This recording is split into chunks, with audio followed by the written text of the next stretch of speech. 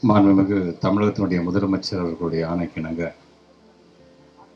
ஆதி திராவிடர் மற்றும் பழங்குடியினர் நலத்துறையின் சார்பாக விலையில்லா இலவச வீட்டு மனைப்பட்டா வழங்குகின்ற இந்த விழா.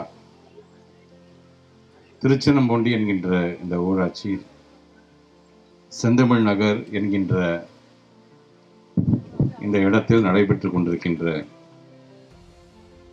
வரவேற்பரை ஆற்றி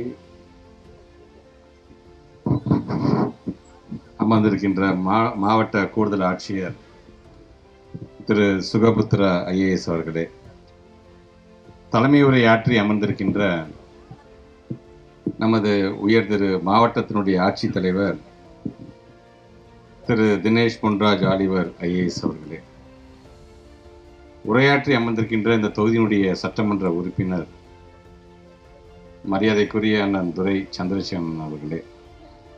மாவட்ட ஊராட்சிகளுடைய தலைவர் சகோதரி திருமதி உஷா புண்ணியமூர்த்தி அவர்களே பூதனூருடைய ஒன்றிய பெருந்தலைவர் அண்ணன் செல்லக்கன் அவர்களே துணைத் தலைவர் சுப்பிரமணியன் அவர்களே நிறைவாக நன்றி உரையாற்ற இருக்கின்ற மாவட்ட ஆதி திராவிடர் மற்றும் பழங்குடியினர் நல அலுவலர் திரு ரங்கராஜன் சார் அவர்களே இந்த நிகழ்விலே கலந்து கொண்டிருக்கின்ற ஆர்டிஓ ரஞ்சித் சார் அவர்களே திரு பூண்டி ராமதாஸ் அவர்களே அண்ணாதுரை அவர்களே அன்பு சுப்பிரமணியன் அவர்களே அறிவுடை நம்பி அவர்களே முரசொலி அவர்களே செல்வகுமார் அவர்களே பன்னீர்செல்வம் அவர்களே ஜெயராமன் அவர்களே ஊராட்சி மன்றத்தினுடைய தலைவர் வடிவழகன் அவர்களே சேகர் அவர்கள் உள்ளிட்ட இந்த பகுதியை சார்ந்திருக்கின்ற அன்பு பொதுமக்களே ஊடகத்துறை பத்திரிகை சார்ந்திருக்கின்ற அனைத்து தோழர்களுக்கும் குறிப்பாக இந்த நிகழ்ச்சி இன்றைக்கு வெற்றிகரமாக நடைபெறுவதற்கு காரணமாக இருக்கின்ற அரசு அலுவலர்கள் அனைவருக்கும் குறிப்பாக இங்கே நம்முடைய மாவட்ட ஆட்சித்தலைவர் சொன்னது போல் நம்முடைய பூங்குடி மேடம் அவர்கள் உள்ளிட்ட அவருக்கு உறுதுணையாக இருக்கின்ற அனைத்து அதிகாரி பெருமக்களுக்கும் என்னுடைய நன்றி கலந்த வணக்கங்கள். இன்றைக்கு இந்த இலவச வீட்டு மனை பட்டாவை ஒவ்வொரு மனைக்கும் நேரடியாக இன்றைக்கு நாங்கள் சென்று அங்கே இருக்கின்ற அதற்கு உரிய அந்த குடும்ப தலைவிடம் அதை நாங்கள் வழங்கிவிட்டு ஏறத்தாழ இருபத்தி நாலு பேரிடம் அதை வழங்கிவிட்டு இங்கே நாங்கள் வருகை தந்திருக்கின்றோம். மாவட்ட ஆட்சித்தலைவர்கள் சொன்னது போல தமிழ்நாட்டிலே எனக்கு தெரிஞ்சு நம்முடைய தஞ்சை மாவட்டத்தில் தான் கிட்டத்தட்ட நாலு செந்தமிழ் நகர் உருவாக்கி இருக்கின்றோம் என்கின்ற அந்த பெருமை என்றைக்குமே நமக்கு உண்டு. அதற்கு காரணம் பார்க்கின்ற வேளையில் சுணக்கம் காட்டாமல் நம்முடைய அரசு அதிகாரியுடைய அந்த பணி அது மெச்சக்கத்தக்கக்கூடியதாக இருக்கின்றது. ஒரு பகுதியில் ஒரு திட்டத்தை கையில் எடுக்கிறோம் என்று சொன்னால் அதை உடனடியாக வெற்றிகரமாக நடத்தி முடித்தாக வேண்டும் என்கிற அந்த உறுதியை கொண்டவர்களாக இன்றைக்கு நம்முடைய அரசு அதிகாரிகள் இருக்கின்றார்கள். அதை தான் நம்முடைய மாவட்ட ஆட்சியர்கள் பேசும்போது கூட இந்த இடத்தை வாங்குவதற்கென்று சில சிரமங்கள் இருந்தது. இருந்தாலும் நாங்கள் விடவில்லை. தொடர்ந்து அதற்கான முயற்சியை செய்து இன்றைக்கு மாண்புமிகு முதலமைச்சருடைய அந்த ஊக்கத்தை பெற்று அவருடைய அறிவுறுத்தலை பெற்று இன்றைக்கு இந்த மனையை நாங்கள் பெற்று தந்திருக்கிறோம். எங்களுக்கு மிகவும் மனதிற்கு திருப்தியான ஒரு நிகழ்வாக இருக்கிறது கூட சொன்னார். உண்மைதான்.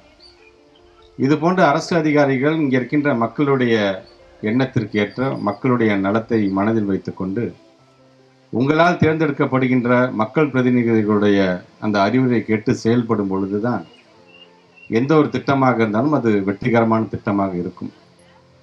குடும்ப தலைவரிடம் நாங்கள் இன்றைக்கு வழங்கியிருக்கிறோம் என்று சொல்லும்போது இதெல்லாம் பெருமை. இது வந்து சாதாரண விஷயமே கிடையாது. இந்தியாவில் எத்தனை மாநிலத்தில் இந்த மாதிரி குடும்ப தலைவிகளுக்கு வந்து முக்கியத்துவம் தருகிறார் சற்று நீங்கள் எண்ணி பார்க்க வேண்டும். இருபத்தி எட்டில் செங்கல்பட்டில் நடந்த சுயமரியாதை மாநாட்டில் தந்தை பெரியார் பேசினார். பெண்களுக்கு சொத்துல சம உரிமை வழங்க வேண்டும். எப்போ? இருபத்தெட்டு கிட்டத்தட்ட தொண்ணூறு வருஷத்துக்கு முன்னாடி சொன்னார். அன்றைக்கு இது போன்ற திட்டத்தை எல்லாம் புரட்சிகரமான அறிவிப்பெல்லாம் யார் யார் அறிவிப்பார் என்று சொன்னார்?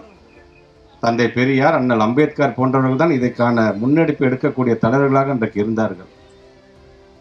இன்றைக்கு அதன் நீட்சியாக பேரறிஞர் அண்ணா முத்தமிழர் கலைஞர் என்று அதன் நீட்சியாக இன்றைக்கு நம்முடைய மாண்புக்கு முதலமைச்சர் அவர்கள் இங்கே நம்முடைய அண்ணன் துரை சந்திரசேகரன் அண்ணன் சொன்னது போல இது திராவிட மாடல் ஆட்சி திராவிட மாடல் ஆட்சி அப்படிங்கிறது வந்து வெறும் வார்த்தையால் மட்டுமல்ல அதை செயலாலும் இன்றைக்கு அதை காட்டி கொண்டிருப்பதுதான் நம்முடைய மாண்புக்கு முதலமைச்சர் அவர்கள்.